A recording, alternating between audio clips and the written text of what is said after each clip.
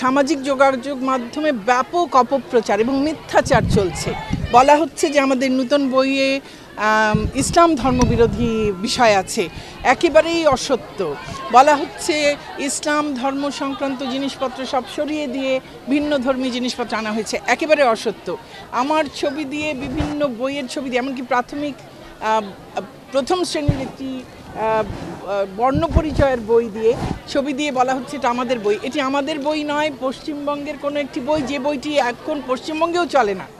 সেই বইয়ের ছবি দিয়ে অপপ্রচার চালানো হচ্ছে যেগুলো আমাদের দেশে আমরা শেখাচ্ছি। জনগণকে বুঝতে হবে, জানতে হবে যে একটা অপশক্তি আছে। যারা এই মিথ্যাচার চালিয়ে আমাদের দেশের শিক্ষা ব্যবস্থাকে শুধু প্রশ্নবিদ্ধ করতে চায় না, আমাদের দেশের স্থিতিশীলতাকে বিনষ্ট করতে চায়। আমরা সবাই জানি তারা কারা। তারা এই দেশের স্বাধীনতা বিরোধী, তারা আমাদের প্রগতি বিরোধী, তারা আমাদের উন্নয়ন বিরোধী, তারা আমাদের গণতন্ত্র বিরোধী, তারা আমাদের নারী অধিকার বিরোধী। এবং এই যে অপশক্তি, সেই অপশক্তি কোনোভাবেই আর সরকার বিরোধী আর কিছু খুঁজে না পেয়ে এখন নতুন শিক্ষাক্রমের ওপর তারা চড়াও হয়েছেন।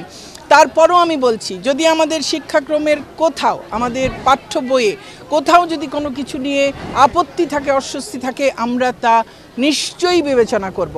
কারণ আমাদের সমাজকে নিয়েই আমাদের এগিয়ে যেতে হবে এবং সেই সমাজকে যেমন আমাদের আরও আলোকিত করতে হবে, একইভাবে সামাজিক যে মূল্যবোধগুলো, আমাদের সংস্কৃতি, তার প্রতিও আমাদের শ্রদ্ধাশীল হতে হবে।